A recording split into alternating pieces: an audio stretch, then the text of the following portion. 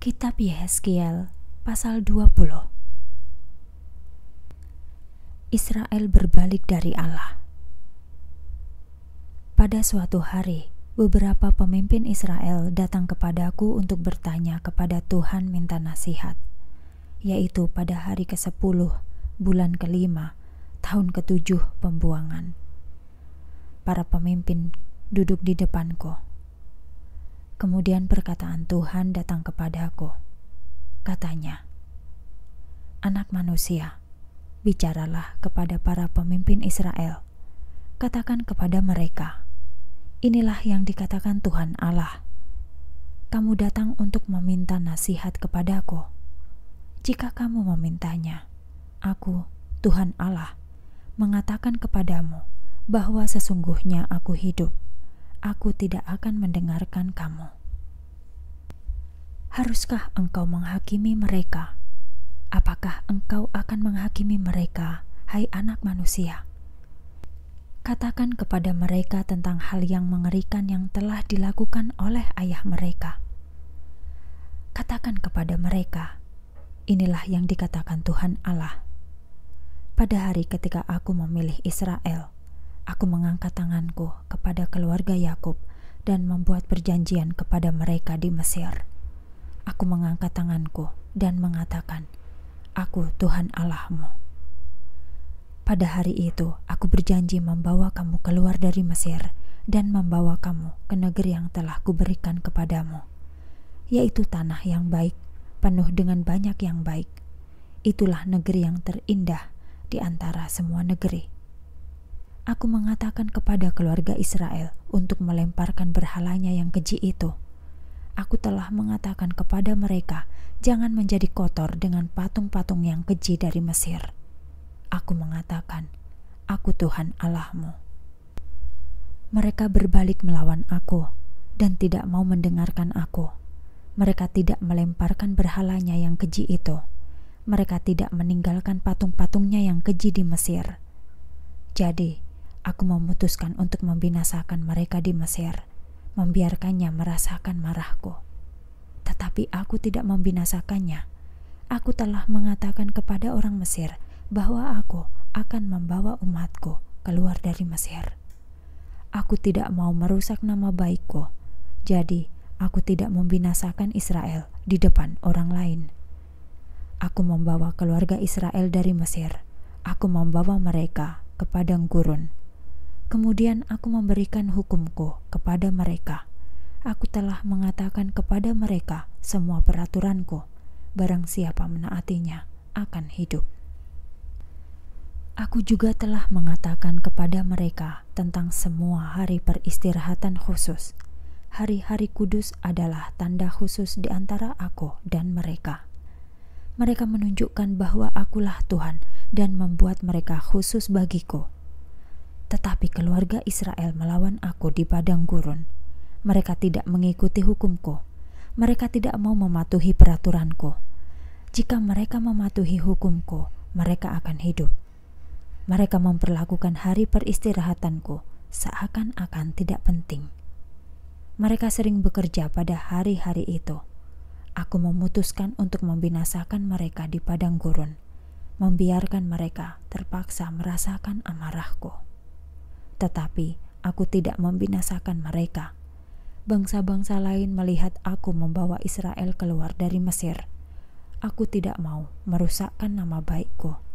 Jadi, aku tidak membinasakan Israel di depan orang lain. Aku membuat perjanjian yang lain kepada umat di padang gurun. Aku berjanji bahwa aku tidak akan membawa mereka ke negeri yang telah kuberikan kepada mereka yaitu tanah yang baik penuh dengan banyak yang baik. Itulah yang terindah di antara semua negeri. Orang Israel tidak mau mematuhi peraturanku. Mereka tidak mengikuti hukumku. Mereka memperlakukan hari peristirahatanku seakan-akan tidak penting. Mereka melakukan semua hal itu karena hati mereka mengikuti berhala-berhalanya yang keji. Aku merasa kasihan kepada mereka jadi aku tidak membinasakannya. Aku sama sekali tidak membinasakan mereka di padang gurun. Aku berbicara kepada anak-anaknya. Aku telah mengatakan kepada mereka, "Jangan seperti orang tuamu, jangan membuat dirimu sendiri kotor dengan berhalanya yang kecil. Jangan ikuti hukum mereka, jangan patuhi perintahnya. Akulah Tuhan, akulah Allahmu. Taati hukumku, jalankan perintahku, lakukan yang kupesankan kepadamu." tunjukkan bahwa hari peristirahatanku penting bagimu. Ingatlah, itulah menjadi tanda di antara aku dan kamu. Aku Tuhan, dan hari-hari kudus itu menunjukkan kepadamu bahwa akulah Allahmu. Anak-anak itu berbalik melawan aku. Mereka tidak mematuhi hukumku. Mereka tidak memegang perintahku. Jika mereka mematuhi hukumku, mereka akan hidup. Mereka telah memperlakukan hari peristirahatanku seakan-akan tidak penting. Jadi, aku memutuskan untuk membinasakan mereka di padang gurun, membiarkan mereka merasakan amarahku. Tetapi aku berhenti sendiri. Bangsa-bangsa yang lain melihat aku membawa Israel keluar dari Mesir. Aku tidak mau merusakkan nama baikku. Jadi, aku tidak membinasakan Israel di depan orang lain. Aku membuat perjanjian yang lain kepada umat di padang gurun. Aku berjanji menyerahkan mereka ke tengah-tengah bangsa-bangsa, mengirim mereka ke negeri-negeri yang berbeda. Orang Israel tidak mematuhi perintahku. Mereka tidak mau mematuhi hukumku. Mereka memperlakukan hari peristirahatanku seakan-akan tidak penting. Mereka menyembah berhala yang keji nenek moyangnya. Jadi, Aku memberikan hukum yang tidak baik kepada mereka. Aku memberikan perintah yang tidak membawa hidup kepadanya. Aku membiarkannya membuat dirinya sendiri kotor dengan persembahannya. Mereka bahkan mulai mempersembahkan anak-anak sulungnya sendiri. Dengan cara itu, aku dapat membinasakan mereka. Lalu mereka tahu bahwa akulah Tuhan. Jadi sekarang, hai anak manusia, Bicaralah kepada keluarga Israel, katakan kepada mereka, inilah yang dikatakan Tuhan Allah. Orang Israel mengatakan hal yang buruk tentang aku dan membuat rencana jahat terhadap aku. Aku masih membawa mereka ke tanah yang kujanjikan untuk diberikan kepada mereka. Mereka melihat semua bukit dan pohon-pohon hijau. Jadi mereka pergi ke semua tempat itu untuk menyembah mereka mengambil persembahan dan persembahan murka ke semua tempat itu. Mereka mempersembahkan persembahannya yang mengharumkan dan mempersembahkan kurban minuman di tempat itu. Aku bertanya kepada orang Israel, mengapa mereka pergi ke tempat-tempat tinggi? Tempat tinggi itu masih ada di sana hari ini. Berhubung karena Israel melakukan hal-hal itu, bicaralah dan katakan kepada mereka, Inilah yang dikatakan Tuhan Allah. Kamu umat telah membuat dirimu sendiri keji dengan melakukan yang dilakukan oleh nenek moyangmu. Kamu telah berbuat seperti orang sundal. Kamu telah meninggalkan aku dengan menyembah dewa-dewa yang keji yang telah disembah nenek moyangmu. Kamu memberikan persembahan yang sama. Kamu telah memasukkan anak-anakmu ke dalam api sebagai persembahan kepada dewa-dewamu kamu masih membuat dirimu sendiri kotor dengan berhala yang keji hari ini. Apakah kamu sungguh-sungguh mengira bahwa aku harus membiarkanmu datang kepadaku dan meminta nasihat? Akulah Tuhan Allah. Demi aku yang hidup, aku berjanji bahwa aku tidak akan menjawab pertanyaanmu dan memberikan nasihat kepadamu. Kamu masih berkata bahwa kamu mau seperti bangsa-bangsa lain kamu hidup seperti orang pada bangsa-bangsa lain. Kamu melayani sepotong kayu dan berhala batu. Tuhan Allah mengatakan, "Demi Aku yang hidup, Aku berjanji bahwa Aku akan memerintah atasmu selaku raja, tetapi Aku mengangkat tanganku yang penuh kuasa dan menghukummu.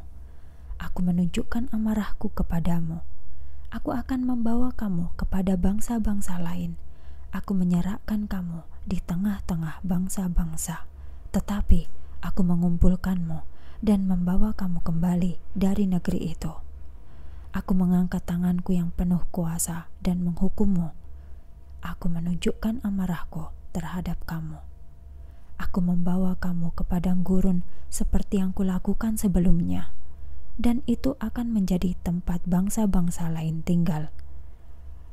Kita akan berhadapan muka, dan aku menghakimimu.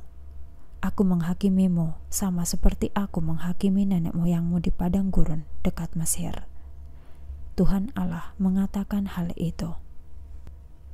Aku akan menyatakan kamu bersalah dan menghukummu sesuai dengan perjanjian. Aku memindahkan semua mereka yang berbalik melawan aku dan berdosa terhadap aku. Aku memindahkan mereka dari negerimu. Mereka tidak lagi datang ke tanah Israel supaya kamu tahu bahwa akulah Tuhan. Sekarang, hai keluarga Israel, inilah yang dikatakan Tuhan Allah Barang siapa mau menyembah berhala mereka yang keji, biarkan mereka pergi dan menyembahnya. Kemudian, jangan anggap bahwa kamu akan menerima nasihat dari aku. Jangan rusakkan namaku lagi. Jangan teruskan memberikan pemberianmu kepada dewamu yang keji. Tuhan Allah mengatakan, orang harus datang ke gunungku yang kudus, gunung yang tinggi di Israel, menyembah aku seluruh keluarga Israel akan tinggal di negerinya sendiri. Mereka berada di negerinya. Itulah tempat bagimu untuk datang meminta nasihat, dan datanglah ke sana membawa persembahanmu bagiku. Bawalah bagian pertama dari panenmu kepadaku ke sana. Bawa semua persembahanmu yang kudus kepadaku ke tempat itu. Kemudian aku berkenan atas bau harum dari persembahanmu itu akan terjadi ketika aku membawa kamu kembali. Aku menyerahkan kamu di tengah-tengah banyak bangsa, tetapi aku mengumpulkanmu dan membuat kamu menjadi umatku yang khusus kembali, dan semua bangsa akan melihatnya. Supaya kamu tahu bahwa akulah Tuhan. Kamu akan tahu hal itu ketika aku membawa kamu kembali ke tanah Israel itulah tanah yang kujanjikan untuk diberikan kepada nenek moyangmu. Di negeri itu, kamu akan mengingat semua kejahatan yang kamu lakukan, yang membuat kamu kotor dan kamu menjadi malu. Hai keluarga Israel, kamu melakukan banyak yang jahat dan kamu harus binasa karenanya. Tetapi untuk melindungi nama baikku, aku tidak memberikan hukuman yang setimpal kepadamu, supaya kamu tahu bahwa akulah Tuhan. Demikianlah firman Tuhan Allah. Kemudian perkataan Tuhan datang kepadaku. Katanya, Hai anak manusia, lihatlah Negeb, bagian selatan Yehuda. Bicaralah terhadap hutan Negeb. Katakanlah kepada hutan Negeb, dengarkan perkataan Tuhan. Inilah yang dikatakan Tuhan Allah. Lihatlah, Aku telah siap membakar hutanmu. Api akan membinasakan setiap pohon hijau dan setiap pohon kering. Nyala api yang membakar tidak akan dipadamkan. Semua tanah dari selatan ke utara akan terbakar.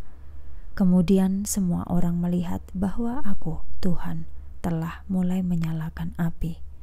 Api tidak akan dipadamkan. Kemudian aku mengatakan, Ya Tuhan Allah, jika aku mengatakan itu, orang akan mengatakan bahwa aku hanya menceritakan cerita kepada mereka.